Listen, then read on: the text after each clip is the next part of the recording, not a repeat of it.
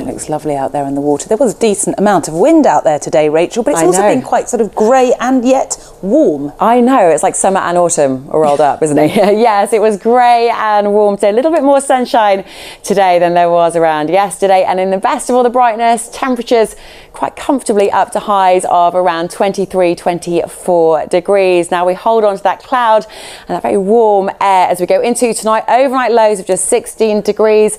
So for tomorrow, again, it shapes up to be more of the same.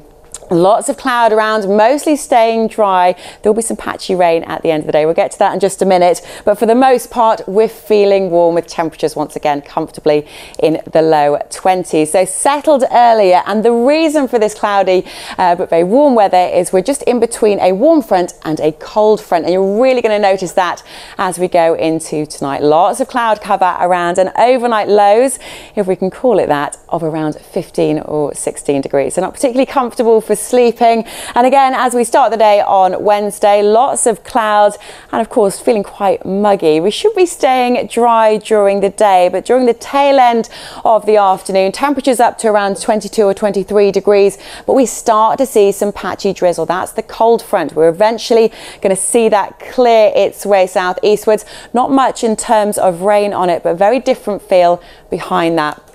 So as we head through Wednesday evening over into Thursday, once all that cloud and that patchy drizzle clears, well behind it, clearer skies and overnight temperatures once again in single figures dropping to around 8 or 9 degrees. Now for Thursday itself, quite a quiet day weather-wise. The winds are actually from a northerly direction, but there's decent spells of sunshine. Temperatures by the afternoon around 18 degrees. A similar day as we go through the day for Friday, but hang on in there if you are enjoying the warmth by Sunday, highs of 25.